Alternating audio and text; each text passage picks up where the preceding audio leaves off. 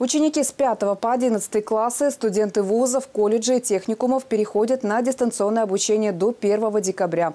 Решение сегодня принял оперштаб. По статистике, каждый восьмой заболевший коронавирусом у нас это школьник или студент.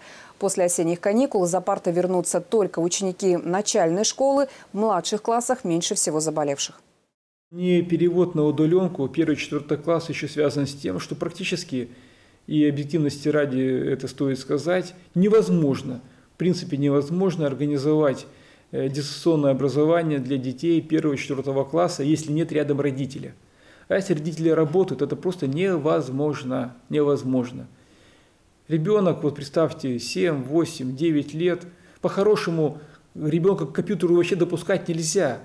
А мы сейчас сами заставляем ребенка садиться за компьютер и, естественно, приучаем его соответствующему режиму. При этом у учеников начальной школы будет не больше четырех уроков в день и только один учитель на класс. Предметы, которые преподают другие учителя, например, английский, пока рекомендовали не проводить. Малокомплектным школам могут разрешить работать в прежнем режиме. Учеников в таких школах мало, а значит невелика вероятность массового распространения вируса.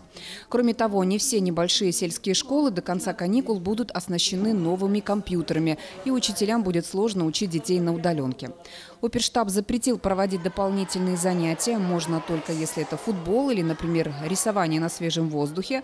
Но оперштабе обсуждали и вопрос с питанием в школах. Возможно, дети снова смогут обедать в столовой. О том, как идет подготовка к онлайн-обучению, проинформировал министр экономического развития Сергей Абалоник. Он рассказал, что первая партия 504 компьютера уже прибыла в республику. Завтра начнется их распределение по городам и районам. Что касается высокоскоростного интернета, прибывшее в четверг коммутационное оборудование смонтируют в течение нескольких дней.